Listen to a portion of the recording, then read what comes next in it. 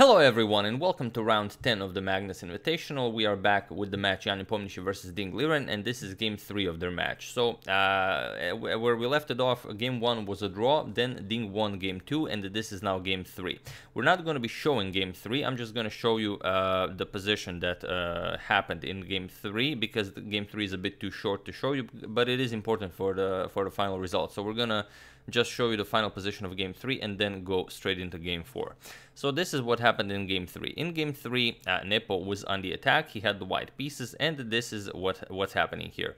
Ding has the queen and rook uh, attacking this f5 pawn, uh, and Nepo goes knight to g4, just attacks the rook. And here, Ding doesn't really have much choice. He has to capture the pawn with the queen, give up the exchange with check, capture, and then play this position being the exchange down. And the game continues, uh, with Nepo, of course, being, being better. However, after this knight, knight to g4 idea attacking the rook, Ding did not capture with the queen. Instead, Ding says, uh, said, I'm not going to be giving any exchanges here, as since Nepo gave up the exchange in the previous game and he lost terribly, so I'm just going to play rook captures and keep my exchange. However, in order to save the exchange, he blundered the game. So I'm sure you can see uh, how Nepo wins here, in, in case you don't, uh, maybe even pause the video and, and try to figure it out while I give you a couple of seconds. So for those of you who were able to do it, congratulations on spotting uh, a tactic that the Ding missed. And for those of you who just want to enjoy the show, it's just knight f6 check. Forks the king and the queen, and it's game over. You lose the queen. Uh, either you move the king and then knight captures queen, or you capture the, the knight and then queen captures queen. So uh, whatever you do, you lose. Uh, and after, of course, uh, uh, this knight to f6 check, Ding resigned the game. So Nepo equalized in the match, and this is what I mean by the title. Uh, it's very strange that Nepo misses that uh, knight to c7 fork, now Ding misses knight f6 fork. Uh, are these players just blundering much more in online chess than they would in, in over-the-board chess? it's not like these are blitz games, these are 15-minute rapid games, so you, you do have time and, and, and also increment. Uh, so maybe the games are just not as intense, and maybe the players are not as careful because there's no maybe because there's no actual rating loss involved. It's only online rating, uh, but uh, still, it's uh, it's hard to say uh, whether it, it, it is so. Uh, but uh, yeah, definitely an interesting question. Uh, do they blunder more online? Uh, but this is what happened in game three. So uh, on to game four. Nepo equalized the match, and now it's game four. Whoever wins wins the match, or if it's a draw, we go into Armageddon. So let's check out game four, and we have to use some special effects to switch the players here. There we go. again, Ding with the white pieces and Nepo with black. So Ding opens with knight to f3. Uh, when going for the win, Ding opens with the reti. Uh, we have knight to f6 by Nepo, g3 and c5 now. Uh, uh, controlling the center, uh, we have bishop to g2 and now knight to c6. We have castles by Ding uh, and e5 now. So with a lot of control of the of the d4 square, uh, and here e4. Ding offers the e4 pawn, and Ian grabs it. So knight captures on e4, but only temporarily. Now you could trade everything with knight captures on e5 and bishop captures here, but Ding first improves, rook to e1, uh, and now knight back to f6. Uh, we have knight captures on e5 and the bishop to e7. And there actually are a few games in the database that reached this position, uh, where knight to c3 and c3 were played. Uh, but uh, here Ding just goes for the immediate c4. He says uh, we're going to be fighting for, for the d5 square.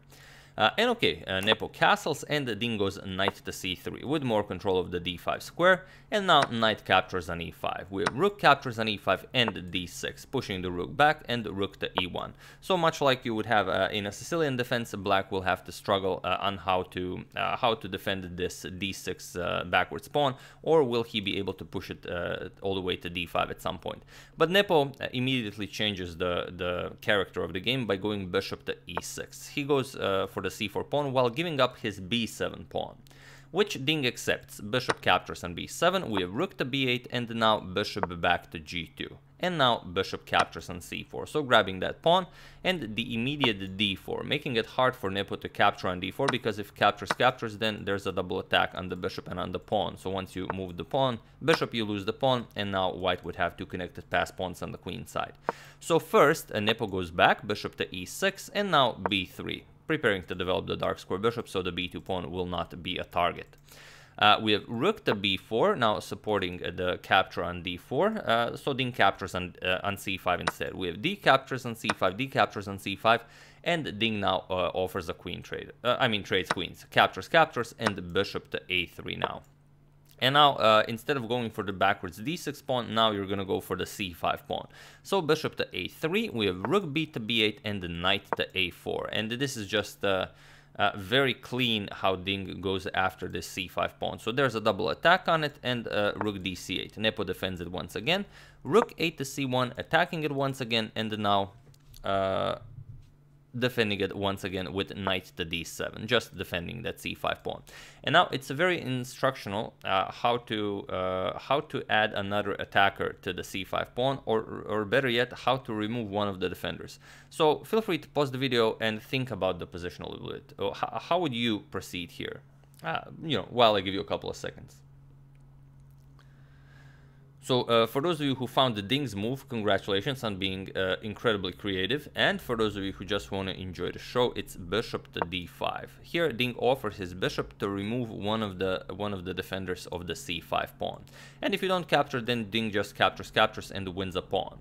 So Nepo did capture, we have bishop captures, rook captures, now removing one of the defenders, while also attacking one of the uh, one of the defenders, uh, and bishop to c6 by Nepo, just defending that uh, uh, defending that knight, and now of course you part with your c5 pawn. We have knight captures on c5, and here Nepo trades. Knight captures, rook captures, and we get this position where Ding uh, is up a pawn, and it's uh, two pawns against one on the queen side, with bishops of opposite colors. So if the rooks come off the board, Nepo has some great chances, but Ding of course will try uh, not, to, not to allow the rooks to come off the board. So a6, uh, not allowing the, this pawn to be a target, and now f4. You don't want to allow Nepo some bishop to f3 ideas, which will really limit the movements of the of the white king, and then you have to worry about all sorts of back rank uh, weaknesses. So f4 instead, now also making room for the king to be able to enter the game. And h6, uh, Nepo just makes some breathing room for his king. Now king f2, Ding starts his king march. King uh, bishop to b5 uh, and now defending the pawn also uh, it's uh, it, uh, this is a very nice diagonal for this bishop uh, and now king to e3 Ding further improves the position of his king rook to d8, now with some rook to d3 check ideas, but rook c to c7. And now Ding says, I'm just going to gobble up all of these pawns as I have two pigs on the 7th rank. Uh, we have rook to d3 with check, king to e4, and now uh, uh, not going for any rook f8 ideas because, well, there's just this bishop here x-raying the f8 square, so you, you might just uh, move the rook and pick up that rook, uh, or rather you will just be able to force more trades, and you will be uh, you will be uh, still uh, up a pawn. So instead, Nepo goes for the counter attack, rook to d2. He wants to grab some pawns here, while also he might be having some ideas with, with bishop to d3 check.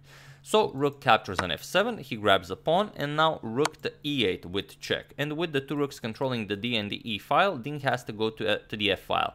And it would be a big mistake to go to f3 because here you're just getting mated. Bishop e2 check, you have to go to g2 or f2, doesn't really matter. Bishop g4 check now, not allowing h3.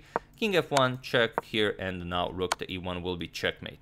So very tricky uh, idea by Nepo. Ding spots it, he goes king to f5. And now bishop to d3 check. Again, checking where, where Ding will go. Well, not here as g4 is the only square available to the king. Uh, but now uh, rook captures on h2. Bishop to e2 check is also possible, but king will be very safe uh, on h4. And then even if you go for some g5 check followed by rook to e4 check ideas, the rook can always block with rook to f4. So instead, Nepo goes for rook captures on h2. Now bishop to e2 check might be a bit more dangerous.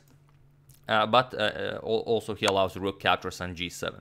But okay, king to h8, the bishop also guards the h7 square, so you don't have to worry about any uh, uh, further checks. But now Ding almost instantly played bishop to d6, and it's an extremely strong move going for bishop to e5, which will just uh, destroy the black king. So here Nepo finds a, a beautiful idea. again, bishop to e2 not not strong, because after king f5, bishop d3 check, king f6, and you don't really have any other ways of continuing the attack. So after this bishop to d6, we have rook to f2. A very tricky idea by Nepo, saying that, uh, okay, if you go bishop to e5 now, uh, do you see what Nepo had in mind? Uh, even feel free to pause the video. This, this is a good one. So uh, for those of you uh, who decided to pause the video, congratulations. Uh, well, just on your decision to pause the video, uh, you know, it's always nice when you want to improve your tactics. Uh, and for those of you who just want to enjoy the show, it's rook captures on e5 and white is getting destroyed because after captures, you have bishop to f5 check, king to h4, and now rook to h2 is checkmate with the pawn and the bishop not allowing the, the white king to escape. So very tricky idea by Nepo, but Ding doesn't fall for it. Ding goes for bishop to c5. Instead, he says, I'm gonna go for bishop d4 with the same idea. But now Nepo again stops it, rook to d2. Now bishop d4 will be met with just bishop checks and you pick up the bishop on d4. So Ding again with the same idea. Bishop b4, he's now gonna go to c3 and attack the king from here. Uh, but Nepo says, no you don't, rook to c2. And here Ding very happily trades one of the rooks. We have rook captures on c2. Now, of course, not uh, of course you don't capture and uh, uh, allow this rook to live, uh, uh, live as there's some bishop to c3 ideas here. So king captures on g7 and now rook to c7 with check. And here uh, Ding just basically trades down into an endgame where he's up two pawns. But still, uh, perhaps if if you're incredibly lucky and the ding does something uh, wrong, uh, maybe you can still pull it off. So king g6, but now rook to c6 with check. The other pawn falls as well, king f7, and now rook captures on h6. We have rook to e2 by Nepo, and now rook to d6, just going after that bishop, rook to e3, and now king to h4. Uh, we have bishop to e2, uh, and now g4. Uh, Ding starts pushing his connected pass pawns. We have rook to f3 going after the pawn, and now rook to d4 defending. We have rook back to f2 and now king to g5 and it was in this position that Nepomniachtchi resigned the game as he is down 3 pawns and of course uh, this is completely winning for white. So really an incredible game and I, I really really enjoyed uh, this moment where, where Ding went uh, bishop to d5. It was it was such an such an instructive idea just uh, remove one of the one of the defenders this way and then it's just uh, winning a clean pawn. So very nice and very nice by Ding dodging all those uh, tricks. Nepo Nepo threw them, uh, and uh, well, it's it's basically payback for for blundering that uh, queen in game three. But yeah, uh, Nepo, uh, Ding wins the game four, which means he wins the match. And if you haven't seen it yesterday, here are the standings after 10 rounds. So Ding Liren in the lead, uh, uh, followed by Hikaru Nakamura and Magnus Carlsen. Well, they're tied with 11 points. Fabiano Caruana with 10 points in fourth.